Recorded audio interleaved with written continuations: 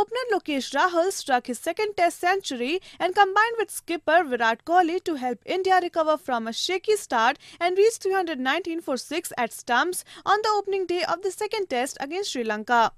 Rahul said he was satisfied with his efforts. Just unfortunate that uh, I, I, couldn't do really well in the first test match, but uh, I came out here with a very clear mind, with a very positive attitude to, you know, to look to get runs. And uh, when when uh, we lost a couple of wickets early, when Virat came in, that's what he told me, you know, to to stay pos- positive and uh, to. Paceman Prasad jolted India early, trapping Murli Vijay leg before wicket and getting Ajinkya Rahane promoted to number 3, caught in the slips. Prasad said it was flat wicket and there was incentive for the fast bowlers in the afternoon.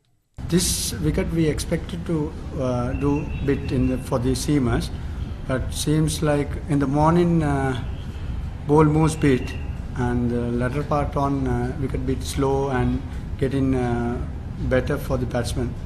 India could have slumped to 23 but Jehan Mubarak spilled Rahul at gully off Dushmantha Chameera with the batsman on 11. Correspondent Pratap from Colombo for ANI.